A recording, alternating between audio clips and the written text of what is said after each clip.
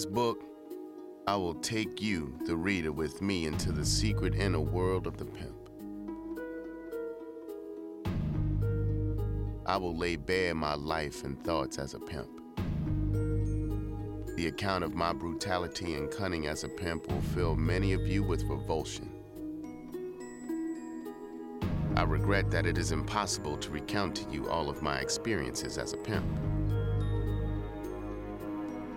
Perhaps my remorse for my ghastly life will diminish to the degree that within this one book, I have been allowed to purge myself.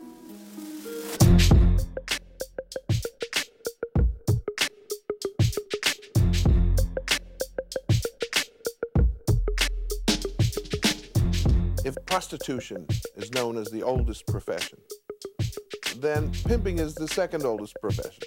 Well, do you want to go get a room? Yeah, how much? Right now, it's been taken out of context because mainstream has adapted and adopted that word and adopted the formula of pimping and thinking that they know what it is. But pimping is a player sending a bitch to the corner to get money. There's a fascination with any time you don't have to work for money. Whoever's doing the least amount for some cash, that is fascinating. It's like, what? What's he do? She does the work. He gets. Well, I, gotta, I gotta figure out how I get into this. You know, You had to know how to control and how to operate a stable, how to dazzle, befuddle, bewitch, entrance, and hypnotize a woman. Not only one woman, but eight, nine, and to keep them in harmonious effort. And if you think that isn't a job, my friend, you ask any married man. Iceberg Slim is the name that is synonymous with the pimp game. He's a writer uh, who lived an incredible life and wrote books that I grew up on. I loved him, and I told him that every single time I talked to him because he was my god. runs the ladies, has the rap, the clothes, the jewelry, the drugs, has done time, street cred by the truckload. Iceberg Slim was a guy who actually lived the life that he was writing about. Pimp might be my favorite book of all time. Yeah, I checked that out.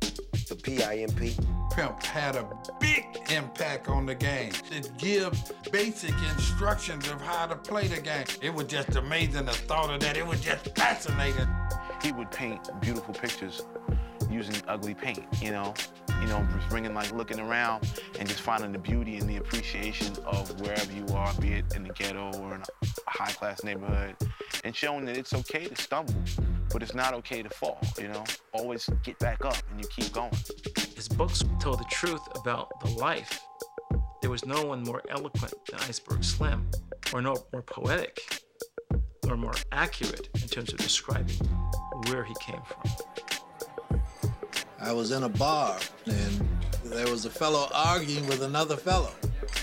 And this fellow drew a gun and fired at the fellow, and the bullet went through my hat. I was full of cocaine at the time, and I didn't react. So my friend said, Man, you were so cool. He says, You were icing. And they called me Iceberg Slim. Thick eyes, but she full of surprises. I swear this bitch is shady. It's what I know. Sex on her mind all the time, and you think that that's your baby. You don't know. You a good guy that's living a lie, but she told him where you're safe. It's what I know. If you cool and she's satisfied, how come that bitch just pays me? You don't know. When you're dealing with pimps and hoes, they have to look the part. So as a kid, you know, some preacher walks in, it's like, yeah, whatever. Pimp walks in, and you know, you can hear church mouse piss on the carpet, it's so quiet. The first stages of my own street poisoning uh, happened when I was a boy, and my mother had a beauty shop. And she catered to uh, a colony of uh, black hookers and pimps. And these fellows would be decked out in, in all their finery with all the diamonds and all the rest of it. And of course, they're women. A pimp was held in regard like an athlete or entertainer. He wasn't like an advocate of peace or violence. He was more or less like a hero. A pimp is judged by his flash. You know what I mean? His Cadillac, his house, his jewelry, his clothes. That's how you size up a pimp economy. Well groomed, smell good, you know, everything. Cause you're trying to outmatch this female. You want that woman to look at you and say, This is the finest man I've ever seen. I mean, the immaculate dresser. I mean, hair coiffed, brand new Cadillac every year. And when you're a kid, you know, somebody had a brand new Cadillac every year. He was something. And that's the first time that I was impressed. Because you must remember, back in those days, if you were black, your opportunities were so narrow.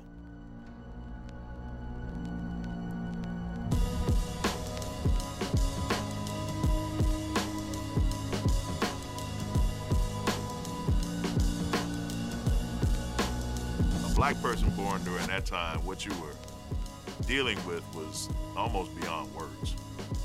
Those race riots in Chicago started because the black kid swam into an area that was whites only.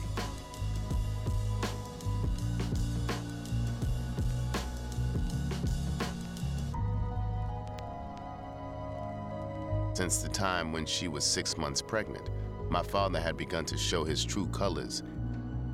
After my birth, he got worse and had the stupid gall to suggest to Mama that I be put on a Catholic church doorstep.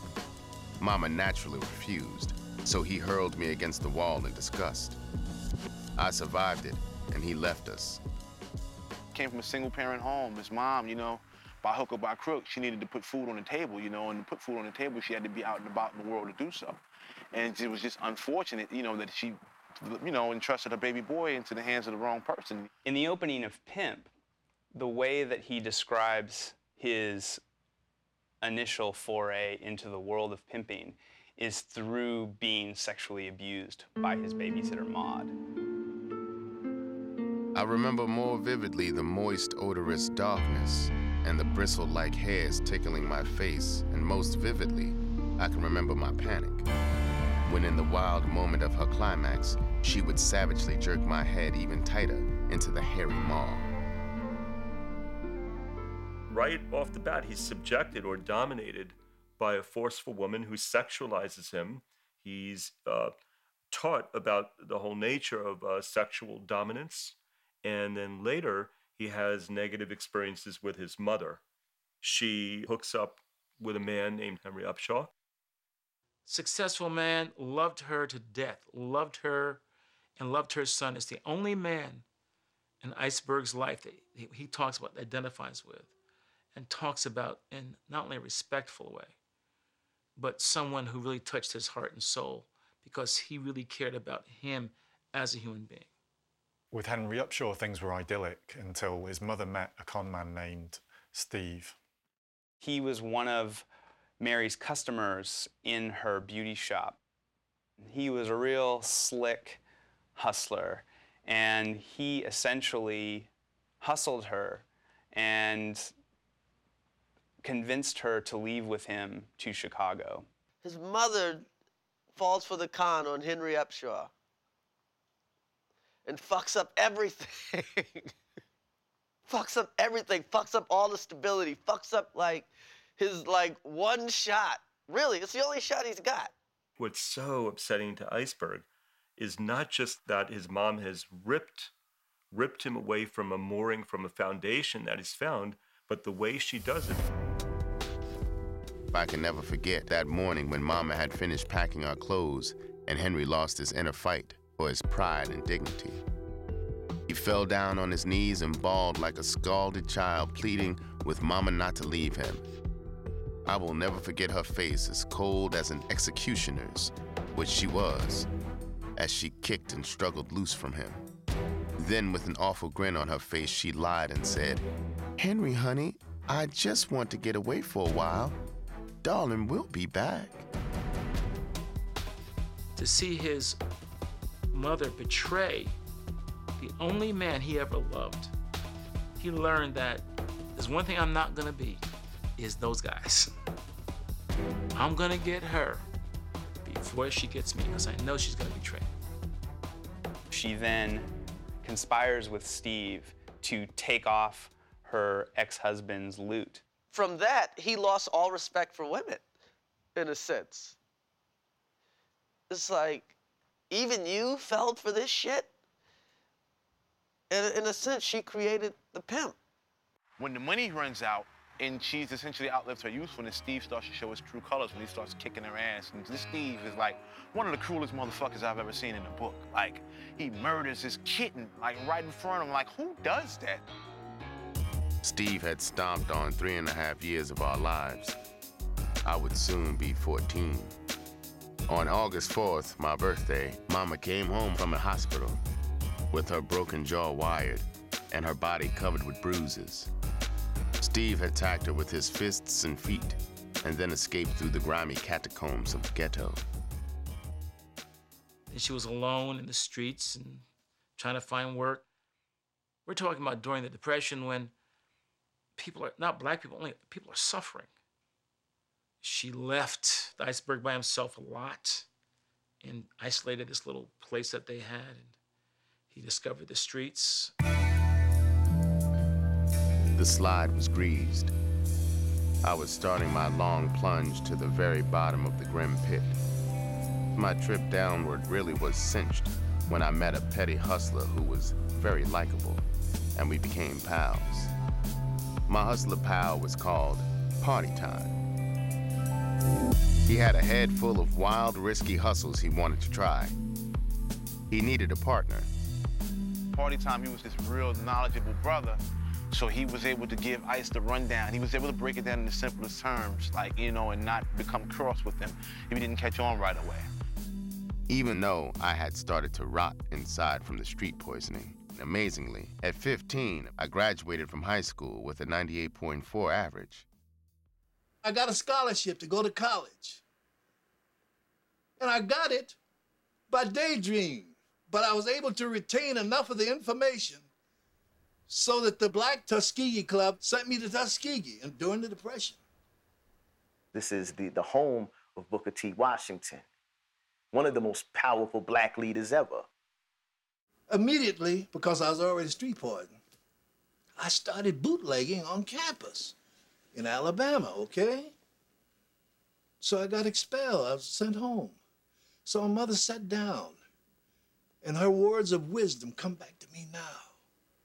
She says, Bobby, apparently you like to run and associate with bad people, with street people. She says, you can become a criminal lawyer. He says, and make them pay you. He said, Bobby, get your education, become a criminal lawyer, and get a license to associate with the people that you admire and like so much. Now, have you ever heard anything more wise than that? 1937. He's out of Tuskegee. He's in Milwaukee. Comes across a woman named Pepper Ibbets. Bobby Beck thought he was the slickest guy on earth. But as slick as he thought he was, Pepper Ibbets was even slicker. As fast as he thought he was, she was 10 times faster. She was older than he was. She was an ex-prostitute. She had been around. She had married a white guy. She had money. She introduced him to cocaine. She turned him out. I was just a het punk. I wasn't in her league. That freak bitch cajoled and persuaded me to do everything in the sexual book. What a thrill for a dog like her to turn out a tender fool like me. If Pepper had lived in the old biblical city of Sodom, the citizens would have stoned her to death. She had his nose wide open and she had him jumping out the window, so to speak, and doing things that he normally probably wouldn't have done. He later got double crossed into prison. It was Pepper and a cop named Delansky, along with an unknown heistman. He got charged with accessory to robbery. An 18 year old black man being sent to a reformatory back in the 1930s and 40s would have been very, very likely subjected to all sorts of racism At that time, many of the guards, or probably most of them, would have been white. They knew that they could push them around, perhaps physically abuse them. He probably got treated very, very poorly. It was there, in the dormitory, that I got the insatiable desire to pimp. I was a member of a clique that talked about nothing except whores and pimping. I began to feel a new slickness and hardness. He's like a sponge. He's soaking up all these stories and all the game these different guys are running down, and he's plucking out the best parts to apply to what he's trying to do. He wanted to master manipulating the psychology of the hoes and the women. When he started to realize that the best pimps, that is to say, the most successful ones, were the ones with the coldest, with the least emotion, the real iceberg hearts. With good time, I was free, slick, and bitter. No more small towns for me. I was going to the city to get my degree in pimping.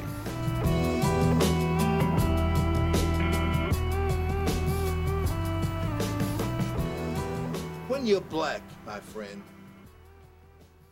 and you get twisted, one's ego needed to be thought of as great and grand. And this was a way to do it. To have your own little kingdom. When I first uh, got to Chicago, I had this wild dream of picking the brain of the town's top pimp, and eventually I did. In retrospect, now I suppose I could say that that I wanted to be like God for a whore, you see. Chicago at that period of time was profoundly saturated with every kind of element you could think of. There were very, very good people and very, very bad people. I come from that life, and I come from Chicago. Every street had a gang, and all we saw were machine guns and dead bodies every day. Harlem and Watts and Compton, man, was like boys' town. I was nothing after Chicago, man, because Chicago is rough, man. During those days, in the 40s, you could either be a barber, you could be a lawyer if your parents had money, you could be a boxer, you could be a musician, or you could be a pimp. We saw pimps everywhere. Serious, serious pimps. I don't mean Jheri curl pimps. Baby Bell was the big pimp in Chicago. Baby Bill was phenomenal, man. He was big time. It's a level that players want to reach. Baby Bill used to travel with 32 pieces of luggage. Do you hear me? And he used to have white women. And this was at an early time when this was a no-no. Once you're in the street, you need father figures because you don't just walk out in the street and become the greatest pimp in the world by osmosis. You need to learn. So in a way, uh, a cat like Baby Bell, you know, Bell is like uh, a father figure as well as a, a teacher, as well as a professor, you know, uh, a mentor. I became a pimp uh, primarily because of the uh, the influence of of well-heeled pimps and other hustlers during uh, a period of dire poverty in my life, and I feel that um, I was influenced by the flashy glamour, the uh, infestation of diamonds on these uh, hustlers, and also by their big flashy cars. And I wanted a sense of importance. There was an area on the south side of Chicago called 39th and Cottage Grove. And basically, it was a red light district. And Iceberg Slim was one of the neighborhood role models. When I first heard Iceberg Slim, my impression of him was of a towering intellect. He was talking about the economics of sexual intercourse and how he uh, looked upon what he was doing as a broker. You know, a lot of people think that top pimps are dummies. That's not true. They're just perverted. I've never known a top pimp who didn't have a high IQ. Actually, I think he would have been a good salesperson. Do you know how, how it takes a lot to sell a woman, to make a woman sell her body?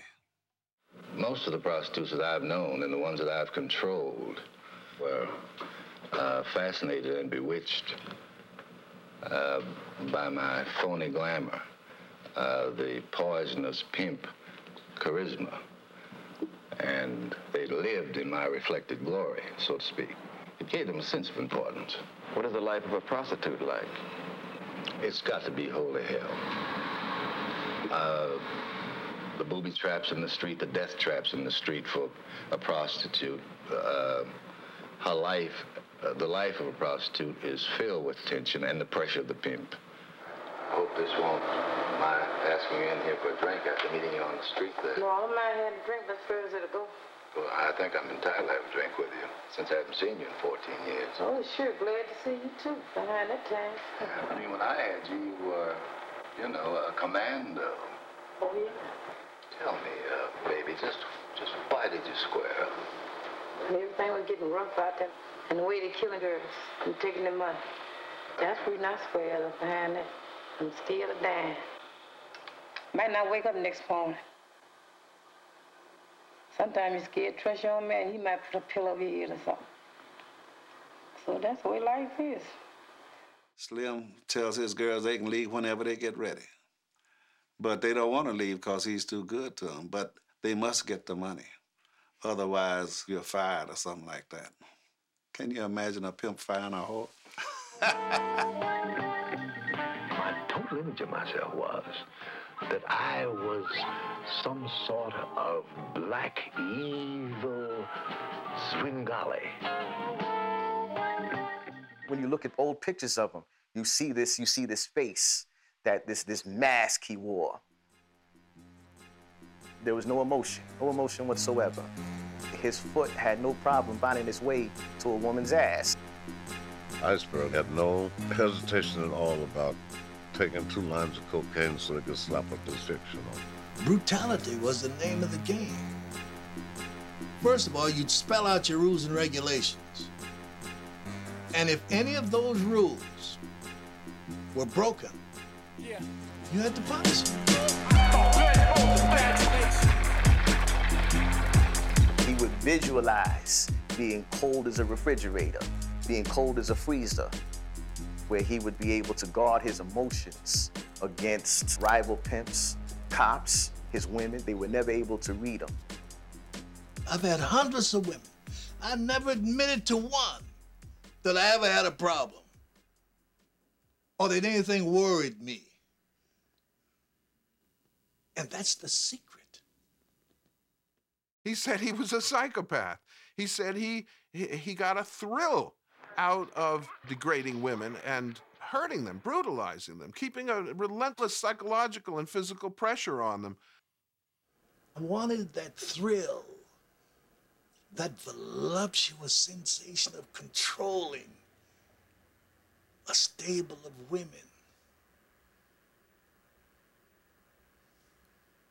He had to grab that intellect, grab that spirit, grab that that hope, and um, he was. I don't, I don't think there was anybody better at it than him. He said the hardest thing for me to do every day was to say something to my stable that would confound their mind to mentally keep them in check. At the end of the day, there's only one game. It's you either work for somebody or you have people work for you.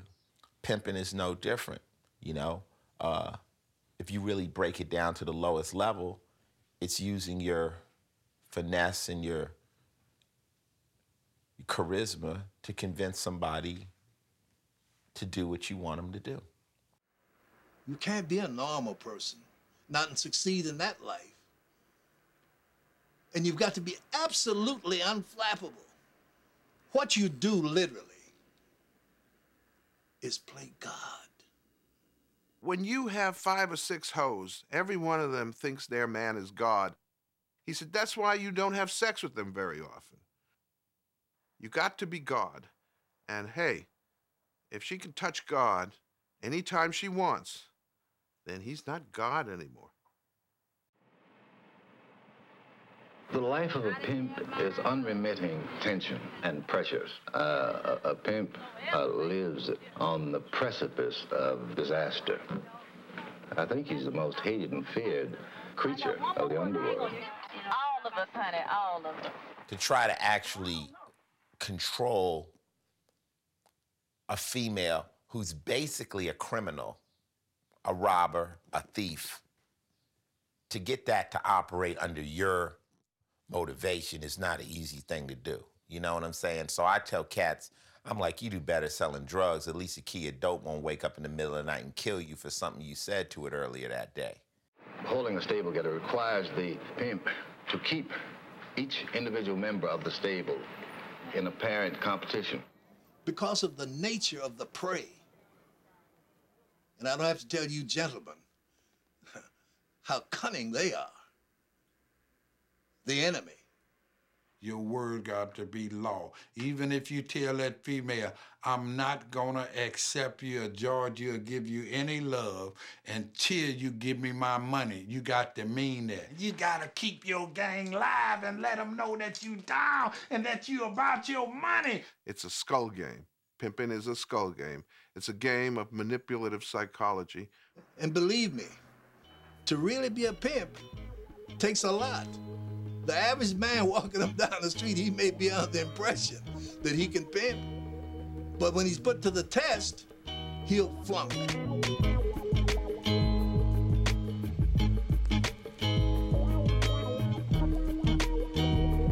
My brother, my, my older brother Shabazz, had, um, when he got out of jail, he changed his name from Charles to Shabazz. He became a five percenter and um, you know there was Korans and a bunch of you know Islamic literature, and then every Iceberg Slim book was right next to it.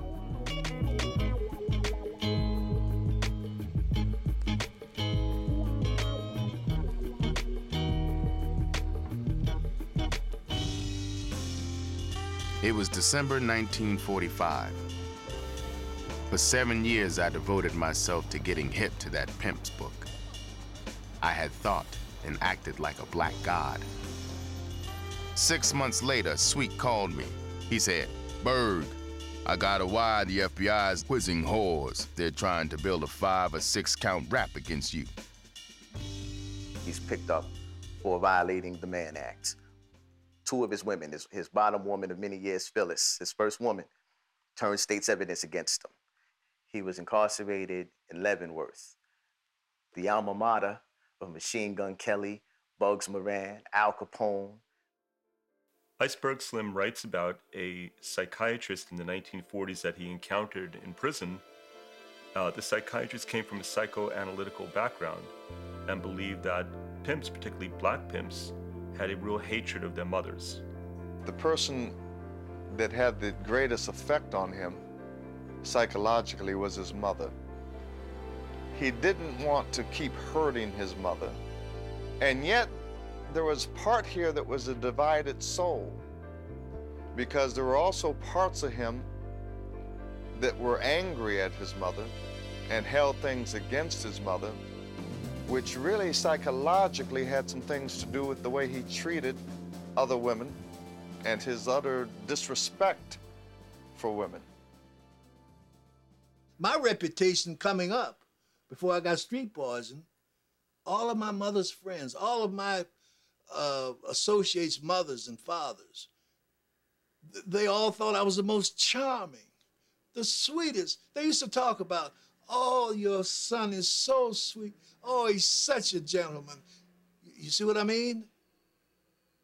So to get from from that A to the horrific Z of pimping required more of me than it did the average person. Which I think played out in his uh, very, very direct experiences with some of the girls in his stable, including the girl who he beat violently and at the same time wanted to nurture and hold and hug. But I always had that sucker streak in me. I don't mean that it compromised my my pimping, but it was always there. You can't just dog a woman out and just gorilla pimp a bitch to death. It's got to be some compassionate pimping in there, some soft side, some tender loving pimping in there. Because if you constantly with the women, you got to have a natural feeling for them. They're getting you money, you respecting them, you actually being a father figure to them. 28 years old, he's released from Leavenworth, he's back on the street, flat on his ass. So he automatically, his first thought is like, okay, I need to get my, my, my pimp game back up. He has no other alternative but to turn to uh, strong arm robbery. And within a month, bam, he, he's back in the slammer. He's sentenced to the Cook County House of Corrections for a year. They put him on the coal pile. Never done a hard day's work in his life. Pimp on the coal pile is like oil and water. So, Good Friday, 1947, he escaped. He's a fugitive from justice. He's running all over the Midwest with eight prostitutes. And he's an addict of heroin and cocaine. Did you make a lot of money? Oh. But where'd it go? In my arm? In a blizzard of cocaine? Up my nose? All kinds of clothes? Spinning it across the bar in cabarets? Dope is maybe one of the greatest pimps to ever live. Because anybody who uses dope and get hook, gets hooked on dope, you a hoe. And the dope is pimping you. When you're in the life, you never realize that you're going to get old. That never occurs to you because the drugs keep you uh, in a in a trance. By the late 1950s, he's got his girls in whorehouses, he gets busted, they run his fingerprints and find out he's an escaped convict. His run in the game is over. He's sentenced back to the House of Corrections. He does nine months in solitary confinement.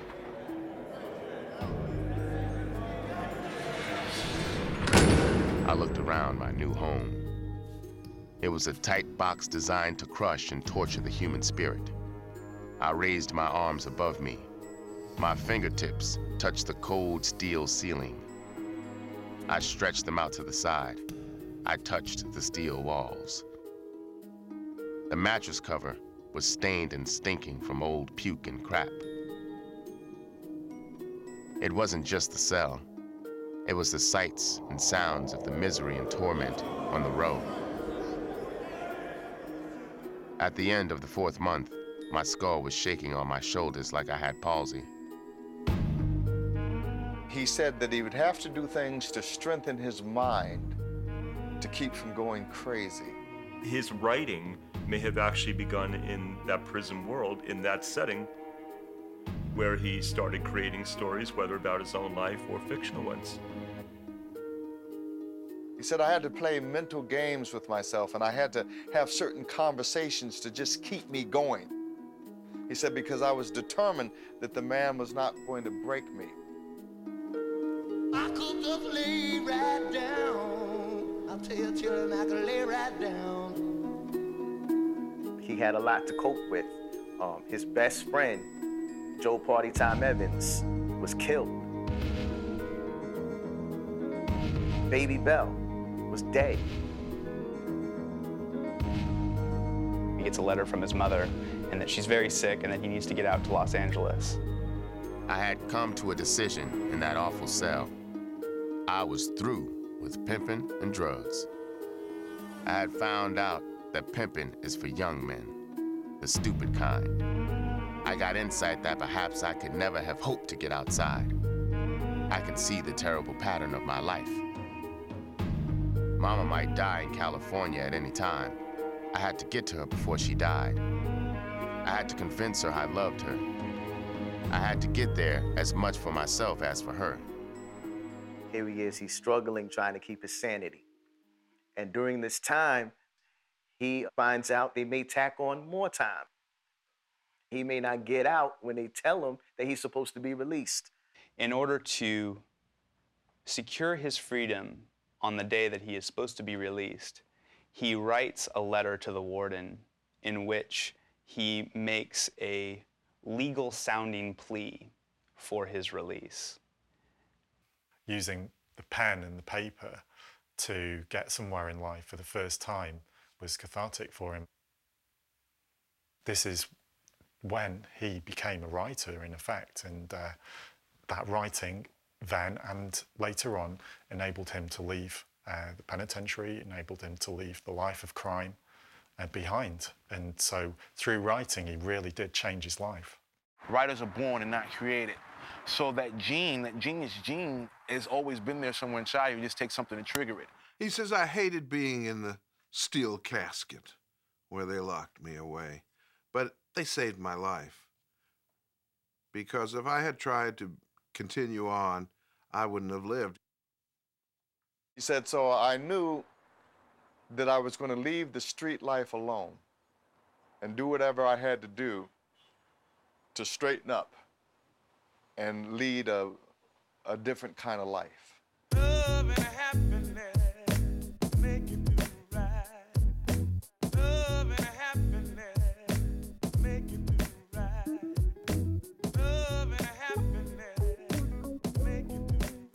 Los Angeles becomes the end point of his journey because he's trying to get back to Mama. I had no one except Mama. My coming to her had been like a miracle. It was the magic that gave her strength. She told me that I should get married and have children.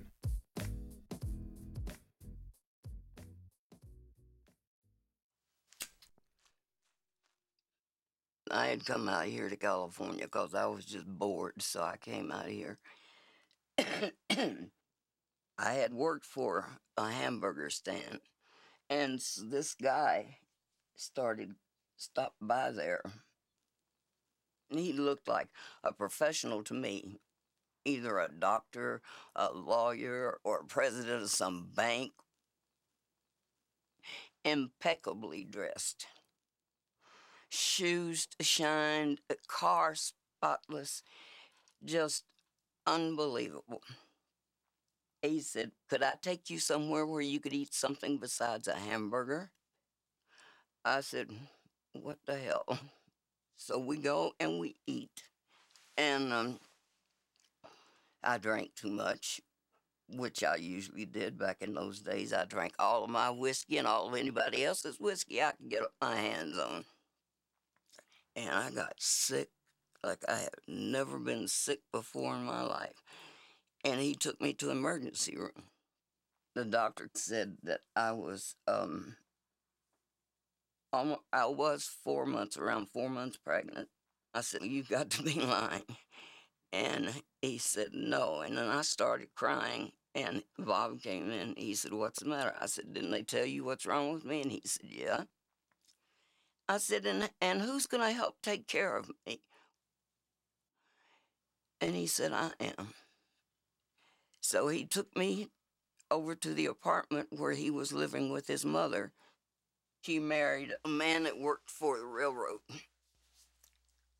His name was Beck.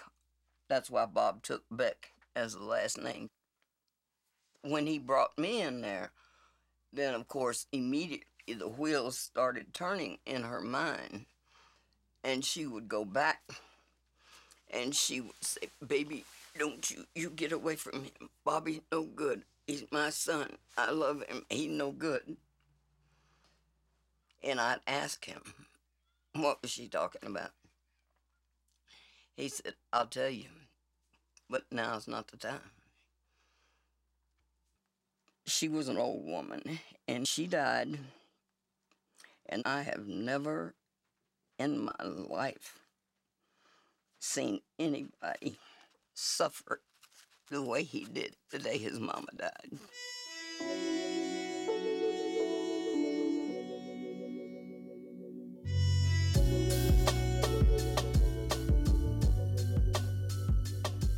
In June, I had Robin, and then 15 months later, I had Camille.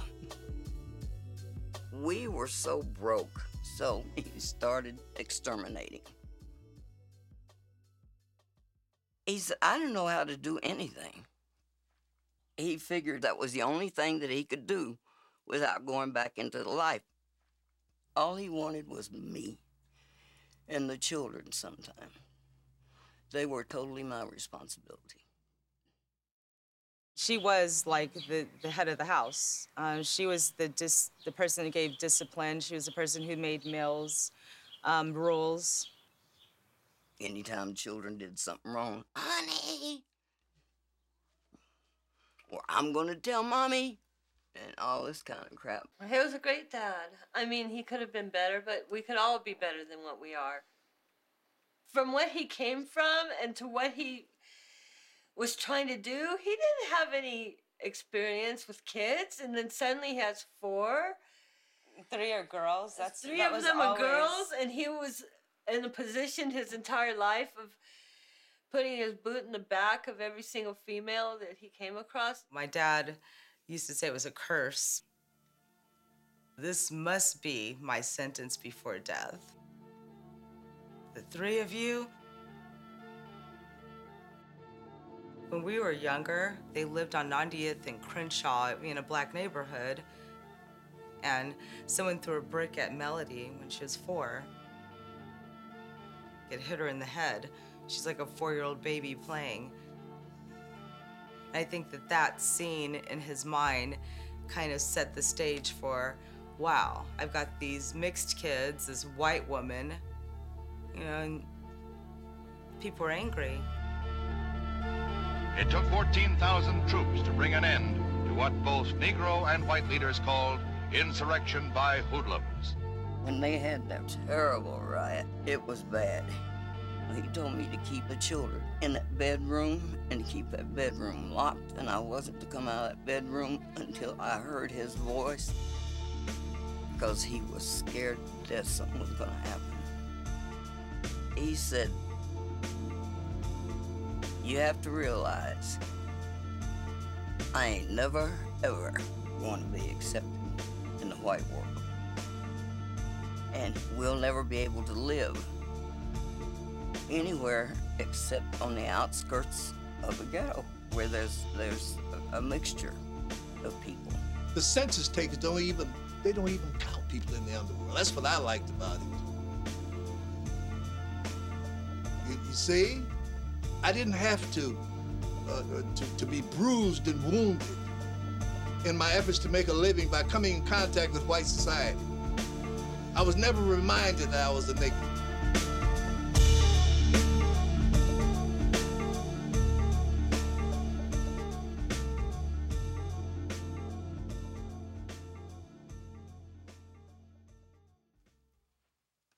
Day long, he would go and kill those roaches and rats and shit like that. He would come in nasty and sweaty, and he hated it. Even then, though, this man could not get up and go out in the streets without putting on a pair of dress pants and a dress shirt and a goddamn hat. When he got home from, from canvassing, as he called it, to find other jobs, he'd want to talk. And he would tell me these outrageous things. And I said, a woman would go out and sell herself and give the money to him. And I said, you out of your goddamn mind. And then he would talk about the different experiences that he would have. I said, you know what? Give me a notepad. You start talking to me, and I'll start writing it down. And I did. After I put the children to bed, it was in there. And then he'd say, You think you can get any typing done tonight? And I'd say, I'll see. And 12, 12.30, I'd go out and turn that typewriter on. She could type 160, Yeah, 170 quick. words a minute. And he was really animated. Yeah, and, And he excited. would and he would act out the whole book right there. he would be telling me what to write down, and I'm sitting in the chair and I'm writing, and he's standing, do you, uh, uh, all up in my face. He was a consummate actor, absolutely. She could put this thing together and act it out with him. It was an amazing experience. I wish that all of you could have seen it. We could finish each other's sentences. His stories, they were so fascinating to me. I felt that if they were that fascinating to me, they obviously are going to be fascinating to, uh, to more than a million people. I had seen that ad in the Sentinel, the black newspaper for Los Angeles. Holloway House was running a little ad for black writers. At that time, there was no venue for a uh, talented young black author, period. When you're attached to something like Holloway House, it's such an iconic place because of the fact that they are the doorway for so many unique American voices, like Joseph Nazel, Donald Goines, and Odie Hawkins. Bentley Morris, I think, should be considered a, a pioneer in one sense, but a drag in another. Bent- Bentley is this this really epic personality. He was interested in a trajectory that kept them under the radar of of fabulous success. Holloway House first came into being in 1961. We felt that we could not compete, but at least be a part of the world of publication. Now, we're not hardcover, we're paperback, which is the low ring of publishing.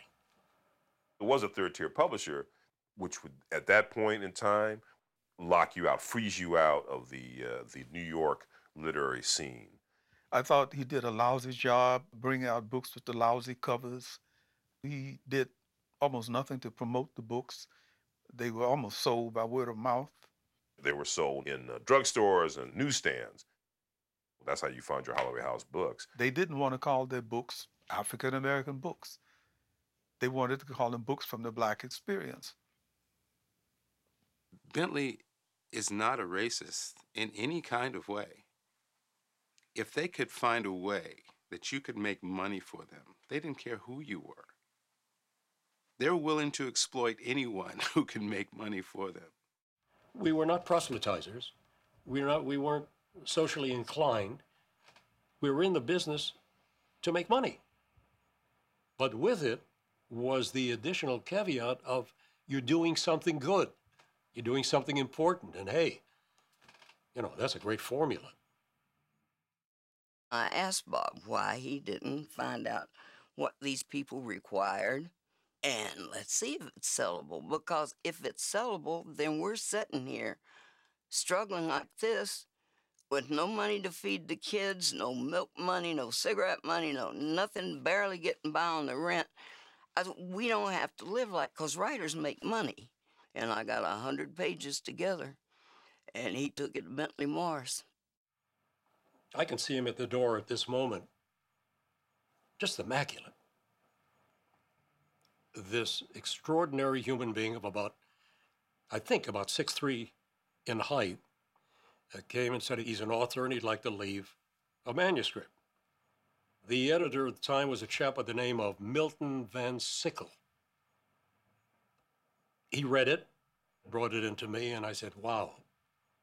It was such a revelation to receive a book with such intensity and with such truthfulness. Bentley Morris gave us a $5,000 advance, and we were down to five. You got five dollars. Somebody gonna cut you a check for five grand. What are you gonna do? Are you gonna give them that portion of your work and then promise them that the rest of it be delivered within two months? And that's what we did.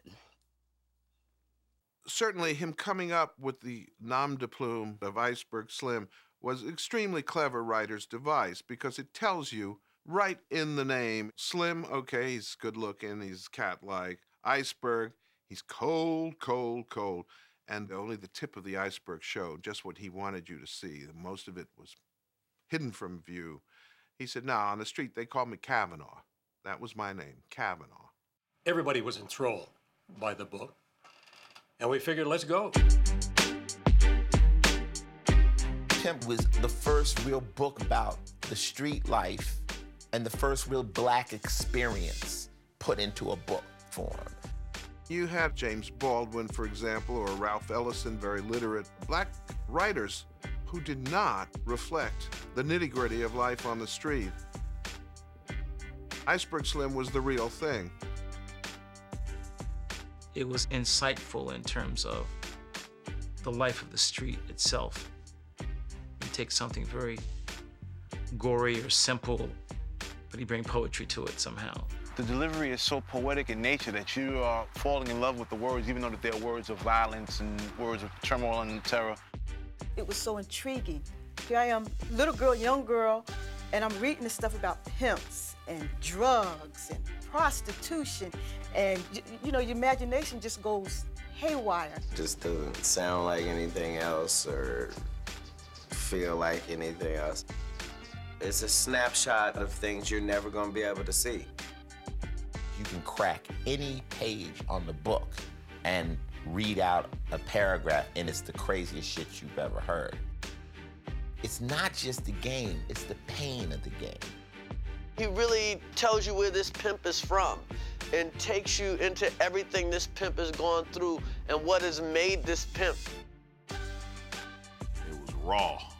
To be able to write about such things in a way that captures the essence of what has transpired as well as giving these events a certain literary flair is, I think, what makes uh, Pimp stand out. Unrelentingly brutal. And, and Iceberg Slim's writing is so vivid and so clear, he makes it all inescapable. A whole book is gripping. You cannot put it down. The shit was so deep, written in deep slang, you know, a lot of people even heard that and didn't know what the fuck Iceberg was talking about. And that was the cool part about it, you know? His publisher didn't understand the damn book.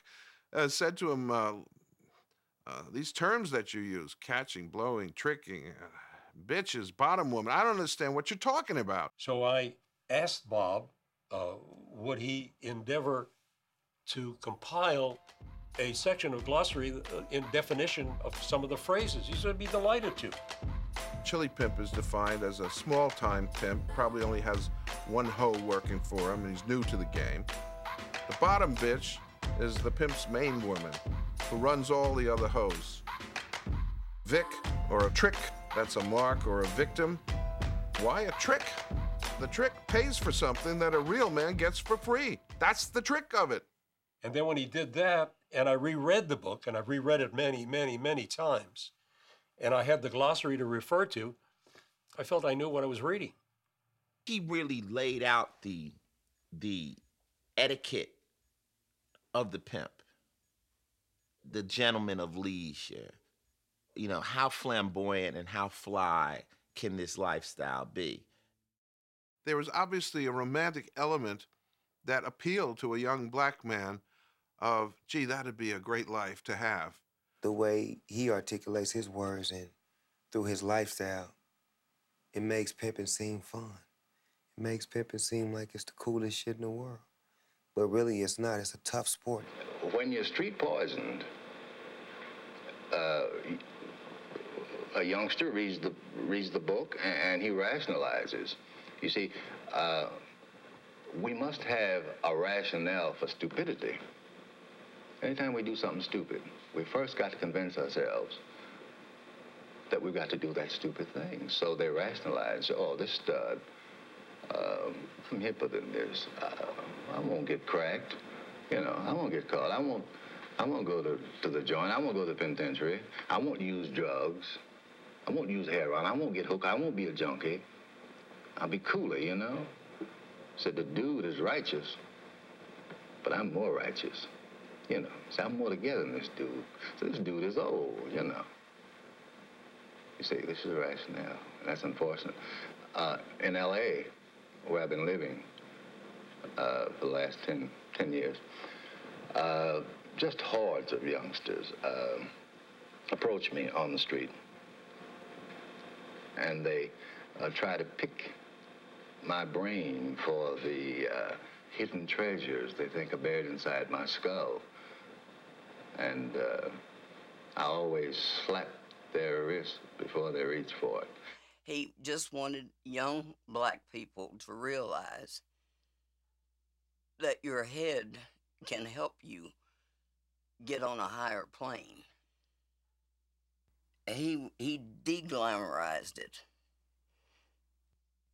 He took all the glamour out of that. We felt this was going to be an unusual book, and so we pursued unusual methods. And there was a chap by the name of Joe Pyne on KTTV who ran wild interviews of the most bizarre and offbeat people, but he had an incredible audience. And so we called KTTV and presented to them the possibility of this author. Would he like to do an interview? Put him on, and all hell broke loose. This is not one of the Reverend's evil spirits. Our guest masquerades under the name of Iceberg Slim. Many of you remember his story of his days as a procurer, or if you will, a pimp. Now he leads a respectable family life. Iceberg Slim has gone straight. And for this reason, he continues to hide his identity. It's uh, really paying you to go straight. Oh, yes, this is a better bag, as they say. You don't miss all that excitement, huh? Oh, of course not. I mean, uh, You get to keep your money now. that's right. And Pimp is a runaway bestseller. Is that right? They can't keep them in. They can't keep them on the stands. We couldn't, we couldn't keep the phone silent. Uh, we didn't have time to punch 911 if we had to, because calls were coming in. Where can I buy the book?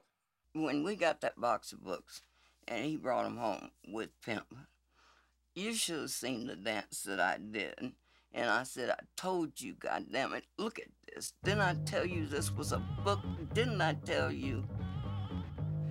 And he said, So what should be the next one? He returns now to tell us about the most incredible con man he ever knew. A blonde-haired, blue-eyed Negro called White Folks. You're not putting us on, are you, Slim? No, that's that's uh, that's factual. One of the things that Slim is incredibly brilliant at doing is being able to impersonate the voices of many people at once. Uh, how did he get that name? Because of the fact that he could pass over the line, over the color line? Oh, that's right.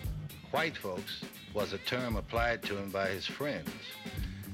Uh, his enemies in the black ghetto called him Trick Baby. Uh, the name of your book is Trick Baby. That's right. Here's what's great about Trick Baby. It's the structure of it. Because what it starts with is Iceberg himself being in the jail cell. And in comes what he perceives to be this white cat gets put to a cell. And then Iceberg then proceeds to tell you this story, but the story is told from first person from white folks' point of view. Iceberg Slim's talent is the ability, the uncanny ability, to be able to memorize these snippets of conversation that he's had throughout his life and construct them into narratives and characters. The book uh, is an incredible adventure story of the con as it's played in the street. And I might add, because it's told in first person, it's classic noir structure. I haven't had a chance to read this, but he knows I read his other one, and I just got this at this moment. If this is anything like your first book, uh, it ought to really do well. When a book reaches the level of a motion picture, uh, the capability for exploitation is enormous. In 1972, Trick Baby became a film. Trick Baby, Iceberg Slim's best-selling gut story of the world of the con, the hustlers, the high rollers, and the hatchet men who made it up. His white skin gives us a slick edge. I catch the black marks, he catches the hunks. Trick Baby, Iceberg Slim wrote it the way he lived it. It's his world, sometimes brutal but always real. Trick Baby, rated R. See it.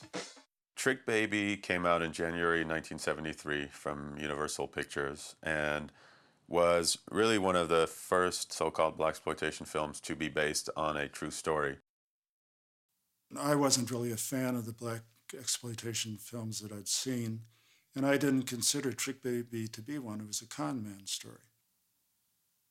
There were lines of pimps and hustlers around the block in every city to see this film.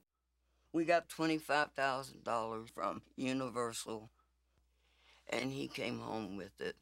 He che- cashed the check and brought it all in cash, naturally.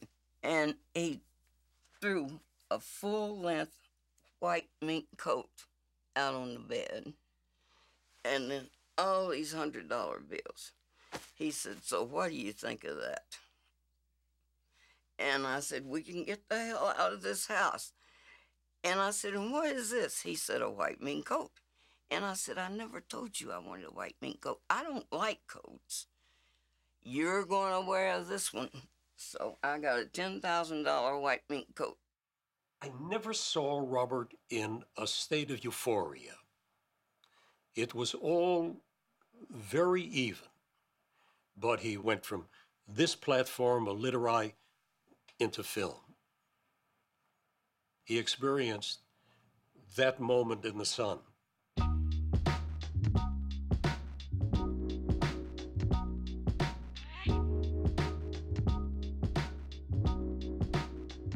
Actually tried to pimp with an Iceberg Slim book. I'll never forget one time, we and my one of my partners named Gary, we had some hoes, you know. So I got in my little pimp suit, you know what I'm saying? So we showed up. So you know, we chopping them. We like, yeah, baby, you know, we real live pimping. You know, it's pimping jumping off. But these was real hoes, so they been around pimps. So of course they knew, you know. So we trying to pimp on them, and uh, you know, in the middle of the pimping, we running into the other room, breaking Iceberg Slim books open, like yo, and then running back, yo, bitch, yeah, what the- hey, you bitch, you know. And they like, how long have you been doing this? the next day, the uh, the two hoes woke up and stole his car.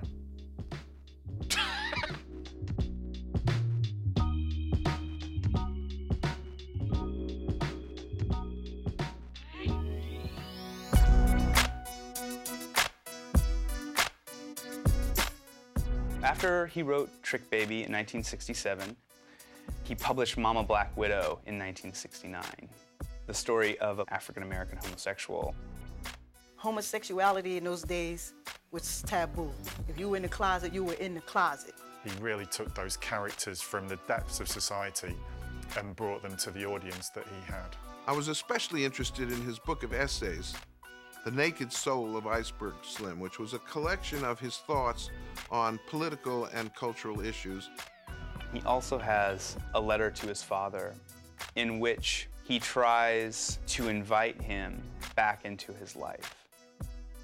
Some of the chapters, if you read them intensely, uh, literally draws tears because they're so confessional.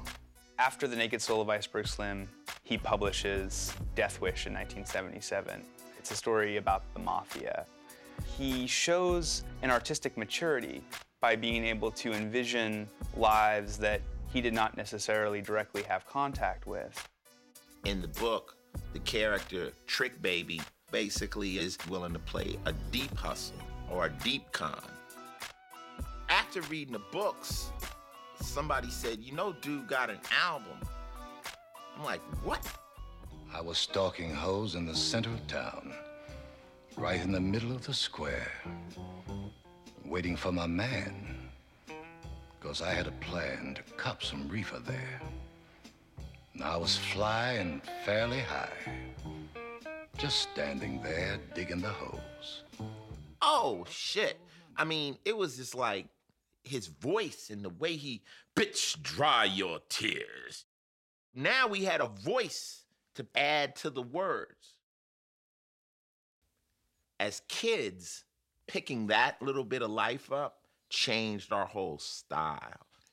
We got turned out. I mean, my whole crew got turned out. the very life that had shaped him and the very life that he could then turn around and write in a literary way and reflect on, which should have then catapulted him out of that life. At the same time, then, because he's writing for um, a third tier house, even though that, even though those books are selling, he has to still then step back into the life just to put food on the table at the same time that he's writing about it. That's like the double life, the double life of, of Robert Beck. The first time I really saw Slim was in the Parisian room on La Brea in Washington here in Los Angeles. And he would sit there, and then his ladies would come in, and they would give him money. But one night, I hear this commotion. I run back there in the back to see what is going on, you know. He said, this bitch bring me 50 fucking dollars and she been gone all day. And he said, bitch, where the fuck you been all day? She said, well, I had my period and I just, I just didn't feel well. He said, you ain't got lockjaw, have you? You think he was still pimping? Because you, someone told you that, huh? Pimping who? For what? What would be the reason, though? The purpose? Like a stable of girls going out and and who told you that? He used to move like these hookers into the house. But they were his assistants. They were like supposed to be assistants Or but, publicists. Uh, But there was a lot of traffic between the rooms. I'd have to say a 150%. That is not true. My mom was psychotic. There's no way. I mean, yeah, he had sex with other women, but making money off of them? Mm-mm. Reformed. Airtight Willie and Me, a collection of short stories, is his last book to be published by Holloway House in 1979. For each one of those books, we were getting advances from Bentley and, and royalties. And Bentley would pay whatever he wanted to on royalties. Well, the royalty statements of Holloway House are really comical because you know that they're a farce and they they have no bearing to any kind of reality. I'm happy when my you know when my beer money comes in the form of my royalty check. Well, we were a small house. Uh, we had very modest type of financing. Uh, we'd lay it on the line to the uh, author. This is what we pay. And if you can live with it, we'll become partners. It was never that an author was working for Holloway. It was always a partnership. How many authors did not take you up on your offer? None. There's a story about, told about Bentley where one of his writers goes to him, Listen, I know you're cheating me and you need to pay me more. And Bentley sat behind his desk, got up, walked to his window, looked down at the street down at Melrose below at the cars going by and saying, You see that street out there? Yes. You know, there are scores of writers down there. I could throw a rock down there and kill 20 writers. I don't need you. You know, if you want to continue to be published by me, you shut the fuck up and take what I give you. He sent me down there when Bentley had to be motherfucked. Because Bentley wouldn't send the goddamn royalty checks out. And then he started looking at the breakdown sheets and he was like, they sold, mm-hmm. but the checks Don't add reflect up, it. They don't never add do. up to the numbers of the books that are sold. They always received the amount of money that they should have received. We did an honest job. We never took advantage of our authors because they were, in effect, our bread and butter. Holloway would receive many calls for personal appearances, book signings, and so on. And uh, we would take advantage of every one because it was additional promotion and merchandising. He was definitely out of the house a lot when the book started taking off. That was the distance between my parents. It was him just kind of off, you know, becoming, you know, this writer, actually a pimp again, is what she would say. You know, he's back out there, and then she's left at home with four kids. She was unhappy, and that made for an unhappy union. You just, you have no idea what it was like. I had four kids to feed, wash, clothes, house to clean, typing to do. And he's been diagnosed with diabetes, so I've got that, tra- that trauma taking care of him. My mom was drinking a lot and really sad and depressed with my, my dad's philandering around town and things. I believe a lot of depression set in during that time, too. He should have been better to me. However, he wasn't mean to me. And I was one that always started arguments, and when they got really heated, he was the one that would leave the house. My mother used to call my father God when they were arguing. She would say, You're God, so you must know everything. And um, it wasn't a term of endearment. She did want a little bit of the limelight and kind of wanted to travel and do things with him. She probably wanted more of a celebration with, with our lives as far as this, like, now we have, like, you know, a nice house, and it only made him more distant. He was a total loner. The only one that he had that came on a consistent basis was R.G. Armstrong. And he and R.G. used to sit in there and write movie scripts. I said, Bob, why aren't you writing a novel? You haven't written a damn thing since we've been in the house. Why aren't you writing? How many more times do I have to go up there and motherfuck that Jew to make him give me some more money to feed these children? And then I got a part time job. And then he quit writing altogether. And I told him, I said, uh uh no, baby, we ain't pimping me, all right? I never paid a man's rent in my life, and I goddamn sure don't intend to start paying yours now. You either do what you know how to do, and let's get some money rolling in here, or you lay here on your dead ass and I'm moving out with my children. And I did.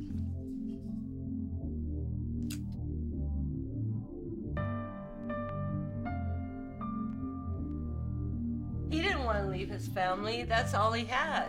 That's all he worked for. Was us. Yeah, I think my mom. He didn't just do that. sh- hold leave. on, hold on. I think she's the one who wanted He to leave didn't him. do that shit for any other reason but for his kids and his woman. Mm-hmm. And he had to leave because of her, because she was crazy and she was out of her mind. My father didn't know how to be in a relationship. Whether it's with a woman, with a buddy, I mean, certainly not children. I still have not been able to unearth what it was, but there was some need that he had for me that just crushed him when I left. Because he didn't think I was going to do it. He just did not believe that I would leave him.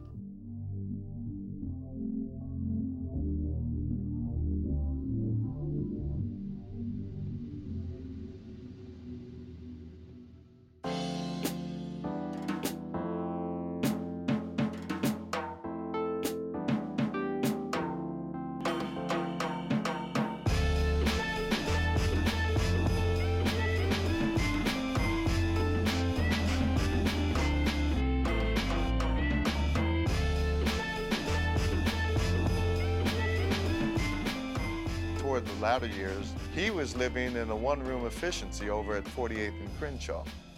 The sugar diabetes had taken its toll, and he was married at that time to another woman. After I read Death Wish, I wrote him a letter thanking him for writing it, and I never expected a response.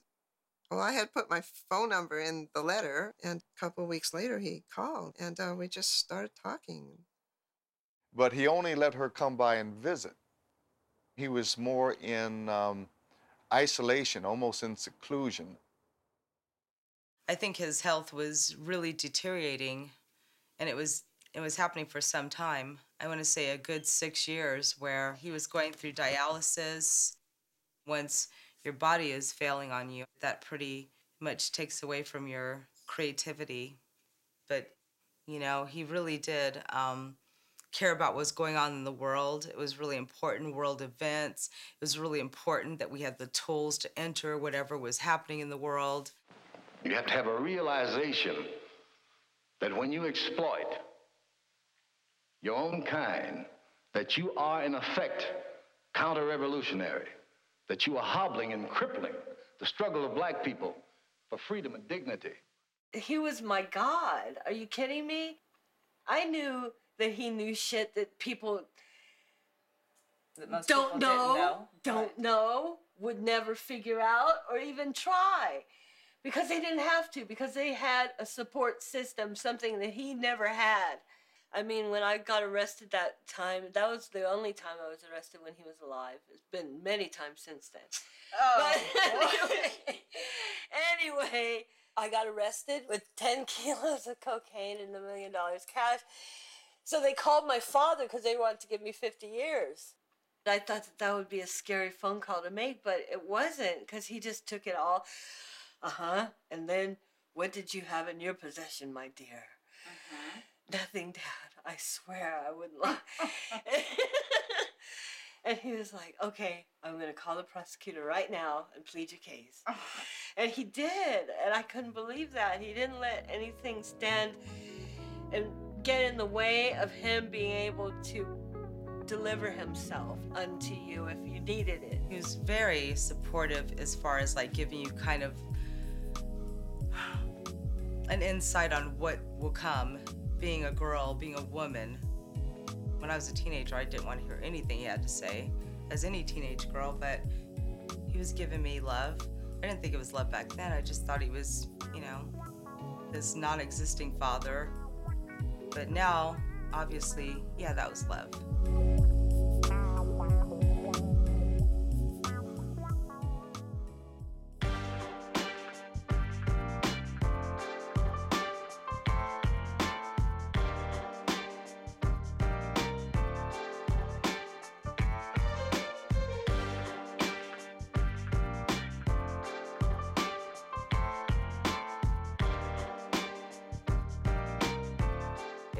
Third day of the riot, the Los Angeles with the Rodney King thing. And it was pretty adamant that my father was not doing well. Gangrene had set in because of diabetes in his foot, and he was going to have to have some parts of it amputated. Melody called me at the office and she said, Daddy's in the hospital. And they want to take his leg off. And he refused to let them take his leg off. And I said, Melody, call your dad back and tell him that I will be there to see him. And tell him I said good night. And he died that night.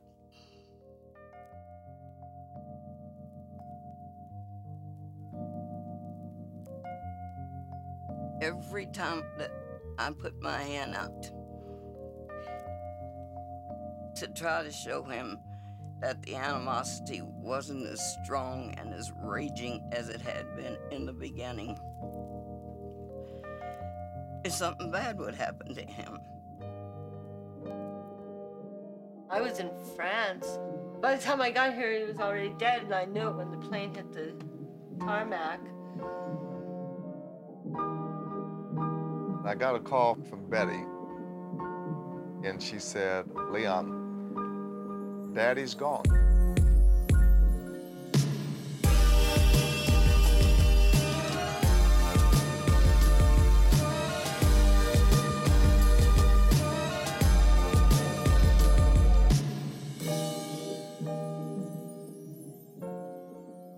I was one of the pallbearers at his funeral. I know they never have women pallbearers. But she was right in there. I was right in there. I never got a chance to be an adult and kind of apologize for being estranged from him. He died with us on a bad, bad terms, which, you know. Yeah, everyone has regrets, so. No one would know that he was as influential as he is, even today, 20 years later, after his death, by the way that he lived and the things that he had. He had nothing. If I had known it was that bad, I think I would have gone and said, That's okay, I'll take care of you. I don't think I would let him, I don't think I would let him stay like that. I don't believe that I would. I couldn't. Because he was part of me. I mean, we made Iceberg Slim together. It wasn't a one person process, it was a two people person process, you know? He was a wonderful person. And I love him. And I miss him.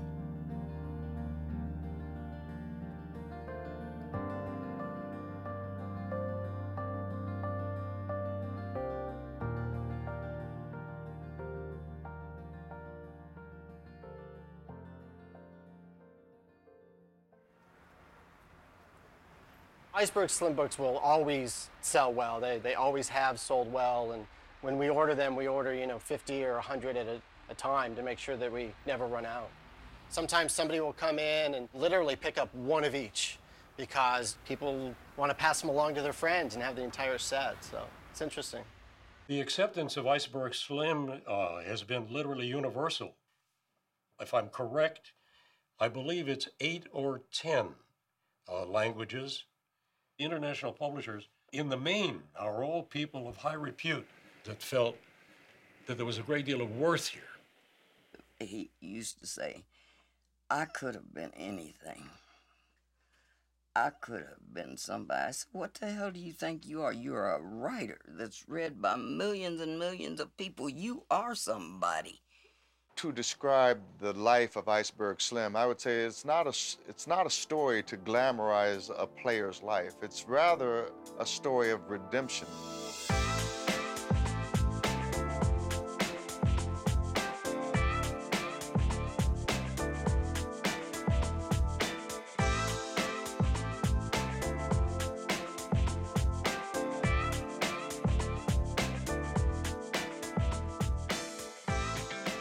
Contribution to African American literature uh, hasn't been touched by anyone.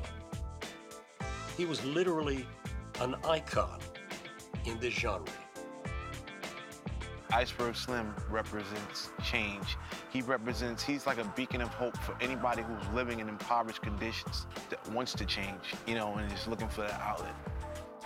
I am a New York Times best-selling author, and if it wasn't for Iceberg Slim, probably wouldn't even have a platform. He's one of the pioneers, no doubt about it. The book company is called Cash Money Content, and we're definitely proud of the fact that we publish Iceberg Slim books. I think it's important that we protect the- his legacy. These books will live forever, guaranteed. Those of us that know Iceberg Slim will put him with Baldwin and Chester Himes, Richard Wright, and Alex Haley even. As the rap gift for every movie I've ever done, I give out copies of Pimp to the whole cast and crew. All the questions of life can be answered if you read this book. From reading Iceberg Slims and really getting into it, I knew that that was the only way to tell a story, to tell both sides. Whenever you would listen to an Ice T record, it's the game, it's the B side too.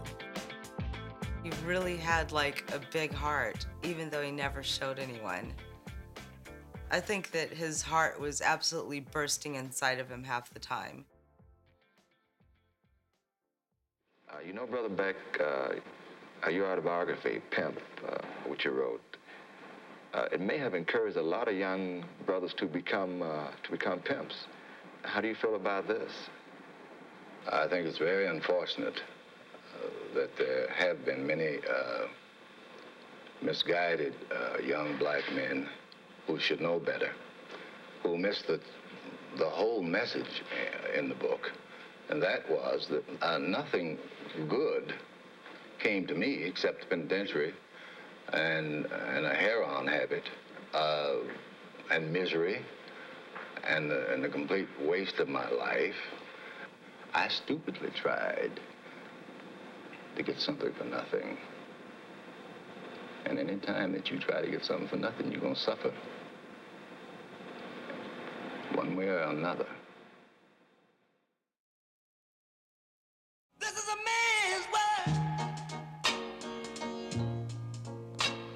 This is a man's world. But it wouldn't be nothing, nothing without a woman or a girl.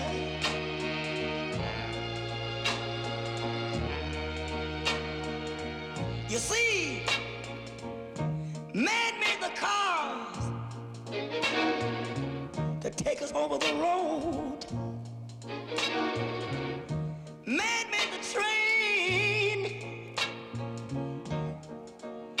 Carry the heavy load. Man made the electric light to take us out of the dark. Made the boat for the water, like Noah made the ark.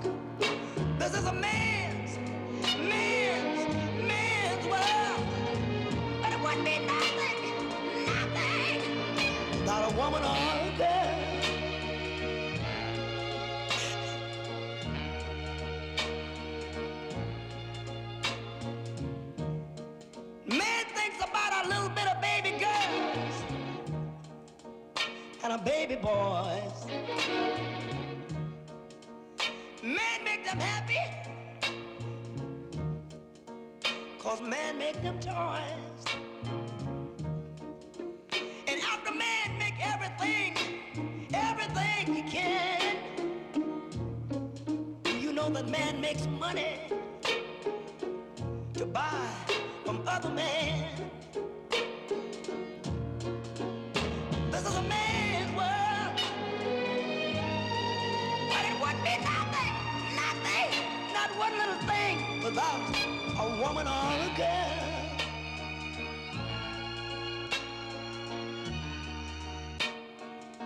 He's lost